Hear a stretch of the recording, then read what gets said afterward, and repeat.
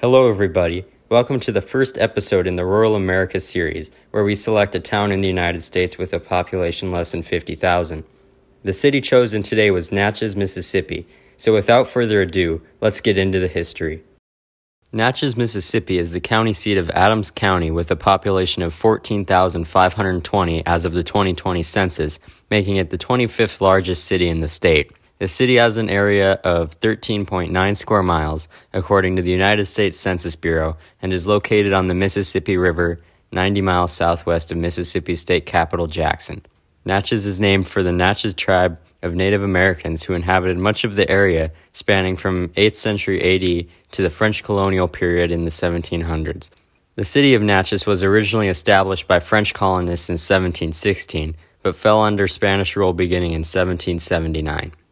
Then, in the late 1790s, when the United States acquired the area, the city served as the capital of the Mississippi Territory and later the state of Mississippi until 1822, when Jackson became the capital. Natchez is also recognized for its role in the development of the Old Southwest during the first half of the 1800s. During this time in 1840, the city was struck by a tornado that killed 317 people and injured many more, ranking it as the second deadliest tornado in U.S. history behind the Tri State tornado in 1925. The city also played a part in the American Civil War. The city was surrendered by Confederate forces without fighting in September 1862. After the Union victory at the Battle of Vicksburg in 1863, many refugees and slaves freed by the Emancipation Proclamation began moving into Natchez and the surrounding areas. However, the area was short on resources and resulted in many slaves and refugees having died of hunger, disease, overwork, or from the fighting during that time. After the Civil War during the Reconstruction era, the city's economy rapidly revived, mainly due to it being spared the level of destruction that other parts of the South had seen.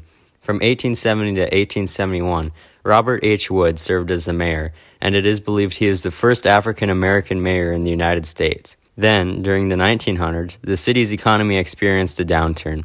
This downturn was the result of much of the steamboat traffic on the Mississippi being replaced by railroads, and also many local industries closing in a restructuring attempt that reduced the number of jobs. Since the 1960s, despite being a popular tourist location, this city itself has had a general declining population.